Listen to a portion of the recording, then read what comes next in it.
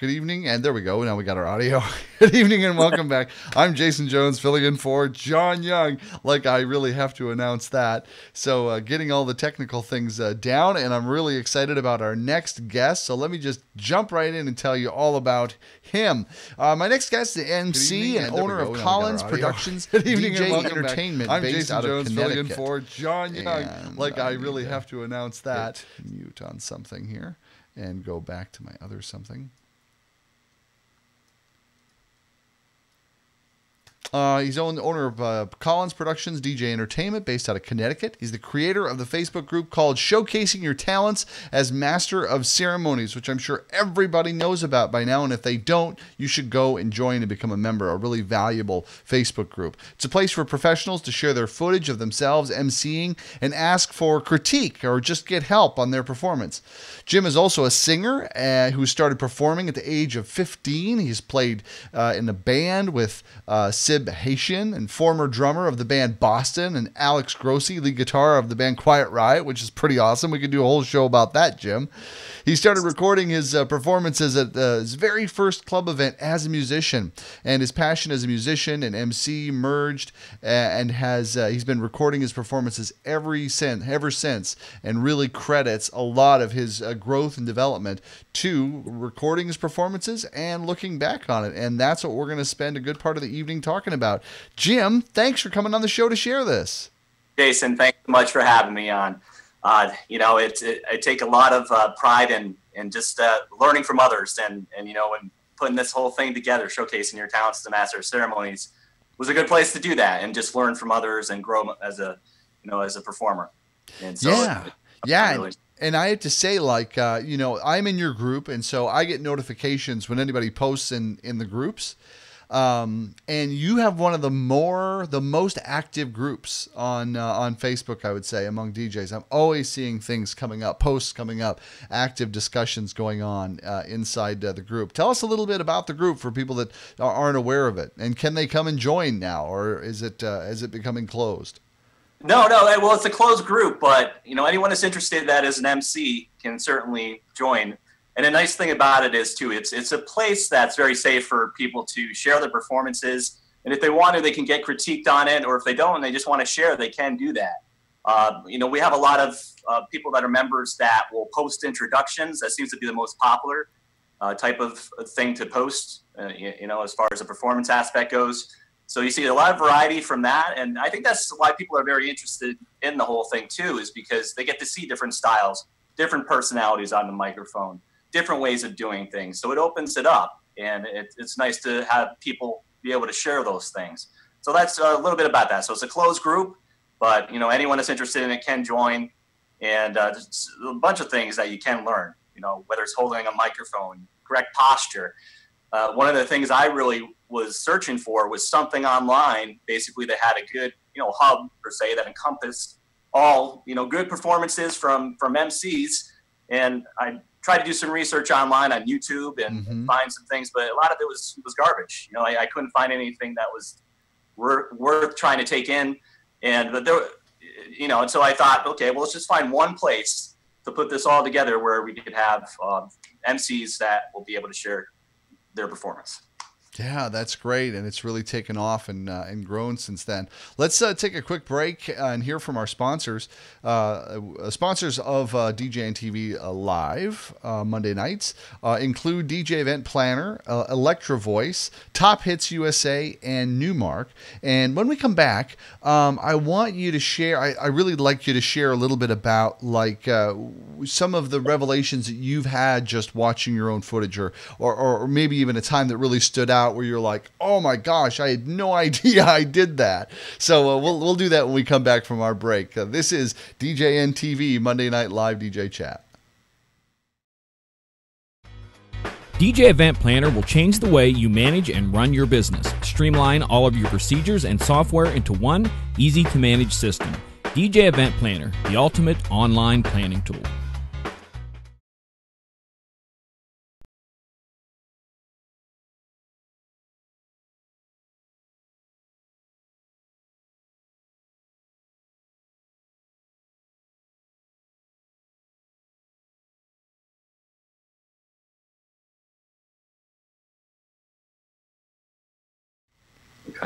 And we're back. I'm Jason Jones, filling in for John Young. My guest, Jim Collins, uh, musician, DJ, MC, artist extraordinaire, and it's really excited to have you on the show. And uh, best known probably in the DJ community as having the Facebook group showcasing your uh, showcasing your talent, which has uh, really, really been a terrific and active group and made a difference for a lot of people.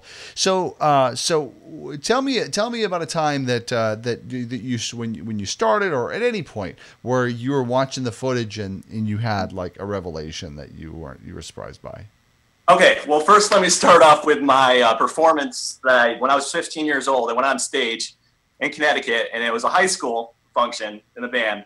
And uh, so, you know, back in the 80s, everyone had the mullets and the boots and dressed like girls. And that's the thing to do. yeah, right? Exactly. So uh, I ran the, first song that we did was an instrumental song, and it was, it was maybe seven minutes before I even come out. So the whole band's up there, and this is being taped. Uh, my guitarist had this set up, uh, one of our performances, and I, I come out on stage. I'm all pumped up, ready to go. I'm like, yeah, you know, I'm gonna hit that first note, and it's gonna be awesome or whatever. And I come out on stage, I slip, I fall on my ass. Oh no! in front of everybody, people were howling out in the audience, just like, "Oh, oh," you know. So yeah. You, you, get back up, you know, and you just let it roll off your shoulders. Did you get goodness. hurt? What? Did you get hurt? No, no, I was okay. Oh, but just it, just that's just. Yeah, so that's just from a band experience. But ever since, I mean, there's things as an MC I certainly pick up on. Um, one thing I did notice because, and I don't know if it's because I'm come from a musical background, but when I hold the microphone, I ex- use that as an extension of myself when I'm performing. So when I hold it, I'm, I'm holding it like that. And so oh. that that footage uh, during weddings, just picking up on that, holding the microphone this way, is different than holding it this way. Yeah. I understand is the proper way to do it, so people can see what the words that are coming out of your mouth and mm-hmm. be able to make well, they that want to see your face. And the, yeah, and the expressions on your face, acts, act, absolutely. So different things like that. Um, posture is a big thing. I, I tend to slump over when I'm behind the booth sometimes, and mm-hmm. when I walk out to welcome a room and get to the center of a room, I have to have better posture. That was the one thing I picked up over the last couple, you know, uh, look backs on those um, smiling more and really Yeah. connecting with people now instead of looking over their their heads and, you know welcoming a room and making eye contact and smiling a lot more i mean there, there's so much that i you know picked up on just Well, in the last couple months Smiling is such a big one because, like, if you're like me, you look grumpy. If you're not, like, a straight face looks grumpy for me. You know what I mean? I kind of frown when I'm like not not.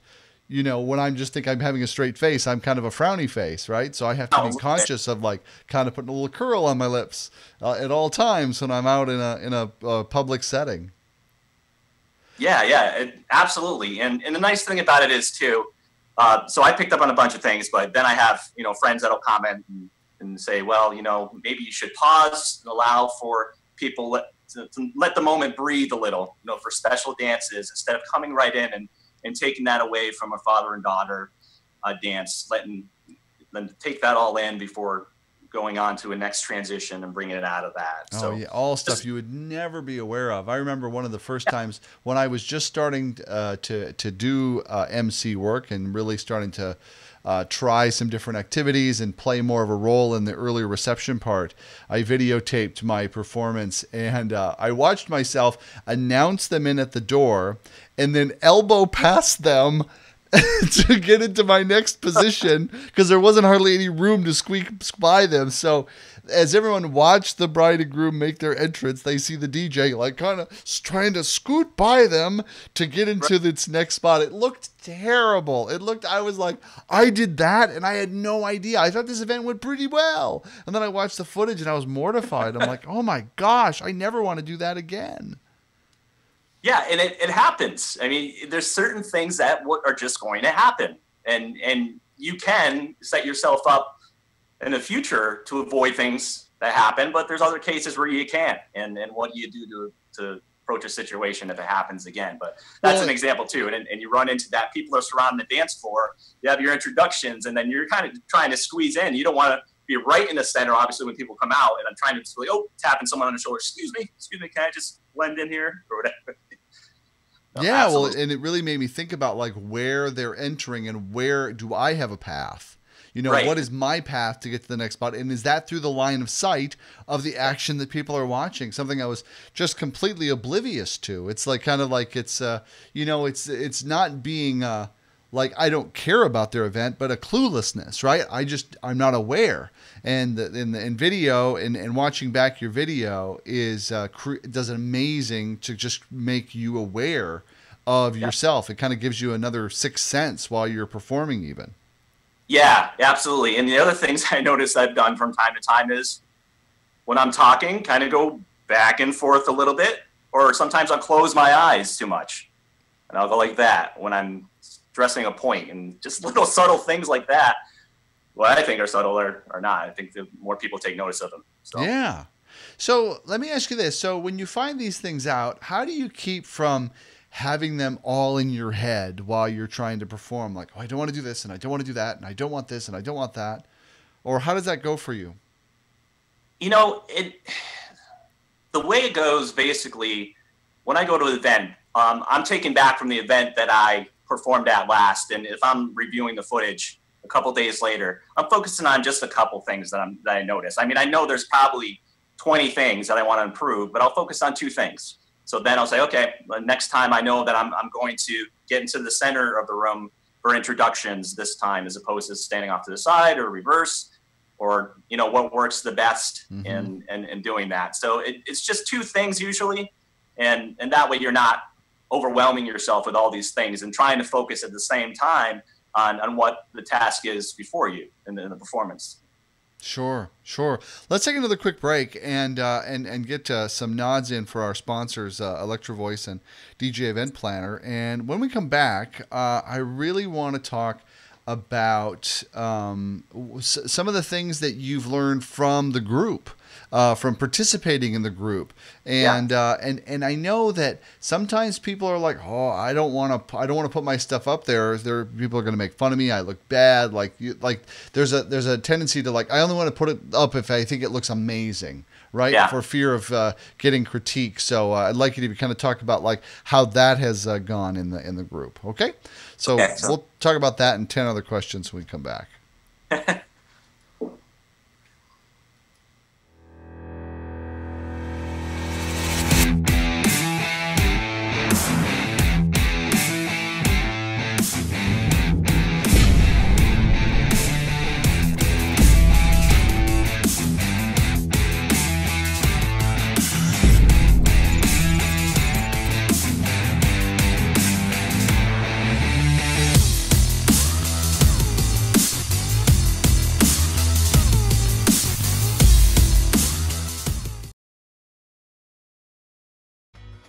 DJ Event Planner will change the way you manage and run your business. Streamline all of your procedures and software into one easy to manage system.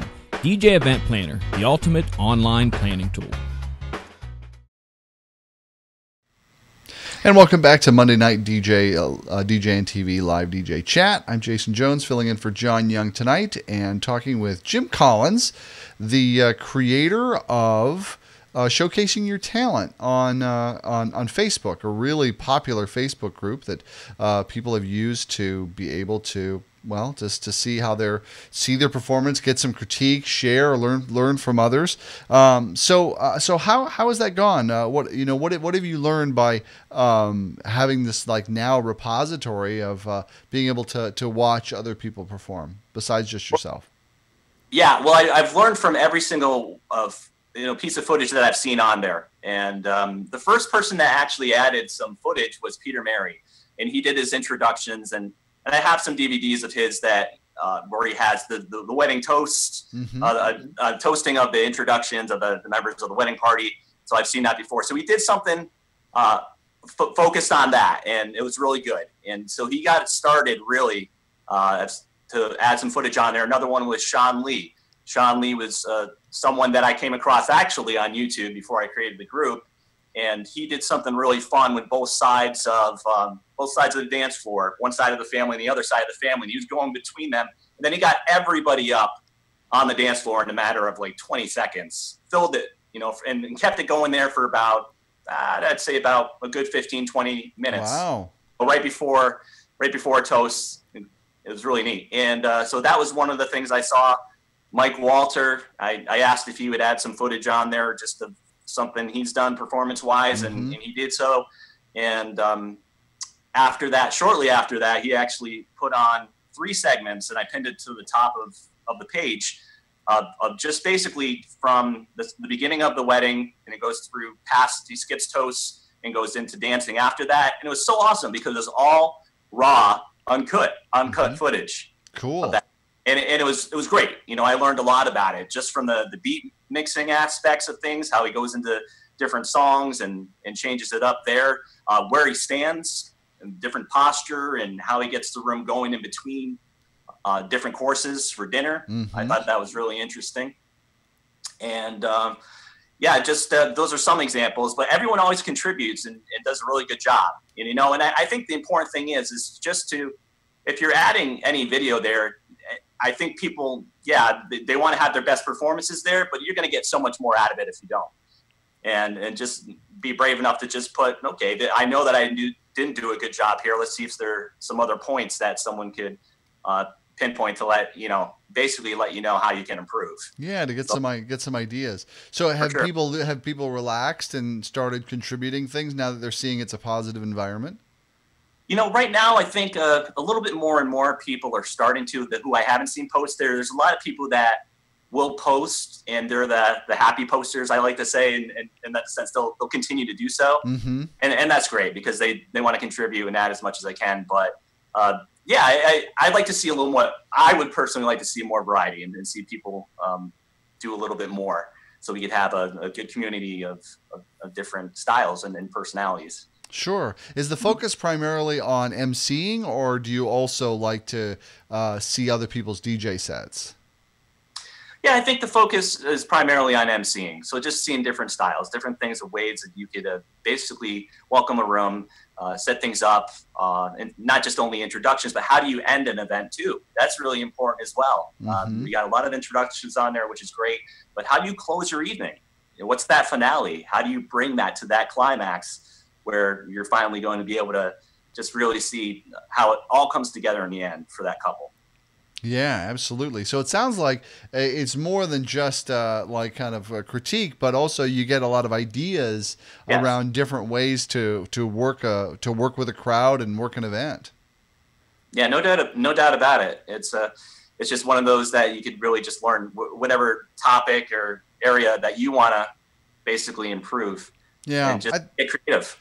I think that's really great because I think that too often uh, guys get really hung up on like, oh, somebody will steal my shtick, they'll Yeah. do my thing, and you know, really, the the biggest favor anybody could do is steal your shtick.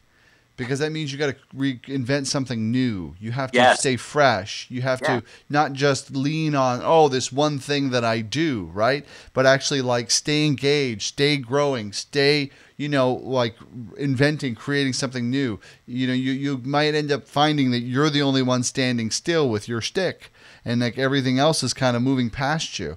Uh, so, uh, and it's it's not about you. Two people could do the exact same shick, stick and have a totally different audience experience. Absolutely, yeah, I, I totally believe that 100. percent uh, I mean, I know there's there's people that do things in the industry and, and, and the style and the presentation of how they do things, and if I were to try to replicate that in any way, there's no way it would be the same thing. It's just not possible because you- you're you. You have your personality, you have your inflections in your voice. Uh, you, you just set things up differently. So I think even if you try to do something that's going, you know, that the repetitive thing that you do, get out of the comfort zone and just try to mix it up and, and reinvent yourself and, and, and try to make yourself grow constantly. Absolutely. I know I try when I see things that I really like, I try not to just take it like uh, you know R&D rip off and duplicate. You know, uh, I try to like go what can I what else can I do with this? How does what does this inspire me? What does this give me an idea for? Like for example, you know the uh, the the bouquet game where uh, you put the couple back to back and they hold up like fla- like a flowers or a shoe kind of thing uh, or a bouquet and a shoe. Uh, when I saw that, I thought that was that was pretty cool. But then I created a new twist where we actually we do it with married couples, uh, who's we call when they ring the glasses for dinner. We would call out married couples, and then we'd put them back to back, and then they would have to guess. They would get one question, and if they matched, then uh, they got to kiss because you know they matched. And if they didn't match, well, then they would have to uh, make up. And then the surprise would be they'd have to do it again. Like they'd have to, and it would be like the same question, and they'd be like, "Oh, you know," and it was like it was really wonderful little payoffs there as you're watching them, their reactions, and it's all the little things, and it, that was just a, a small twist on a uh, on a on an already great activity. Yeah, absolutely. That that's and that's the type of thing, and, and you do have to take the extra time and care to to, to uh, basically create those things. It takes a lot of work, obviously, as you know to, to really take it a step up and, and just say, hmm, how can I make this, put a little twist on this and make this different or, or just come up with something entirely different. Exactly. It's work. And a lot of people don't want to, they want to get, stay in that comfort zone and, and not take that extra time, but it's worth it, I think. Precisely. Absolutely. Jim, it's been a real pleasure having you on the show. When Ron Ruth enters the room, you know it's time to wrap up the show. So uh, uh, we're running a little bit over here, and this is uh, this is really great. But it's been really great chatting with you. I look forward to seeing you and showcasing your talent, and really encourage everybody to uh, to go ahead and join that group and start submitting some stuff. Uh, it, it'll make a big difference for you, your career. Have a little courage, put it out there. There's a lot of love in that group. Jim, thanks for making a big difference in the industry. Jason, thanks so much and all the best. And thanks for all you do in the industry. Th- thank you. Have a great night. Dude, be good. We're going to be back with Ron Ruth on DJN TV Monday Night uh, DJ Chat.